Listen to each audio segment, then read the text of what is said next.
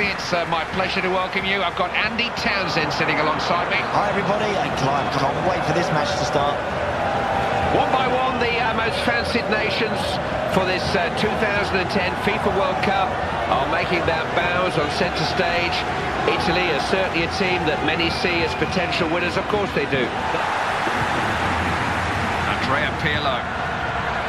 Quality ball back in the hands of the goalkeeper. He'll take them on and beat them here. That's his job, winning the ball.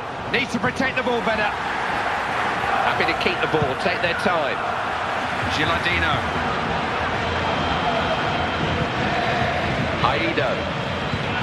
That's what they need.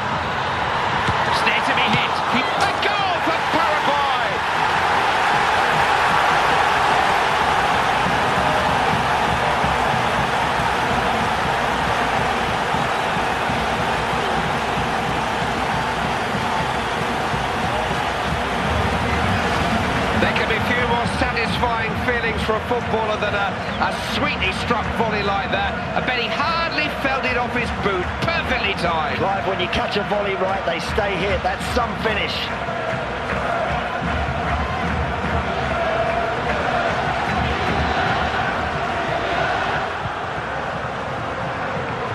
Barreto. Has he found someone? Good header.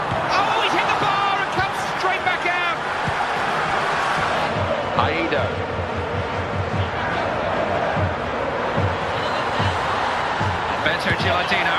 And they're on terms.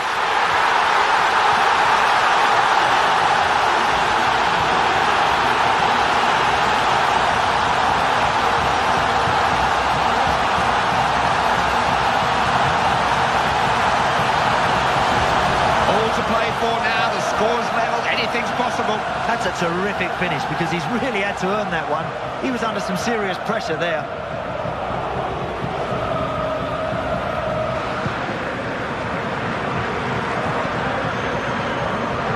Di Look at the space he's got here. You can see their frustration. They would have been in front if that had gone in. Yep, he just rushed that. He just grabbed it. He just got a bit excited ahead of himself.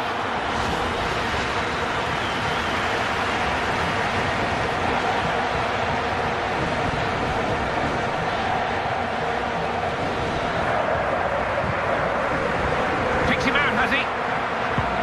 It's a game that Italy really want to win. What can they produce in these closing minutes? It's a real chance! Oh, no! Well, that could have changed the whole game. It remains to be seen whether that's a point one or two points drop. The uh, group's just beginning to take shape. Avoiding defeat was the first priority here, and they've done that at least. A win would have been great, you know, but there's just a sense of relief that they haven't been beaten here. They're up and running with a point on the board.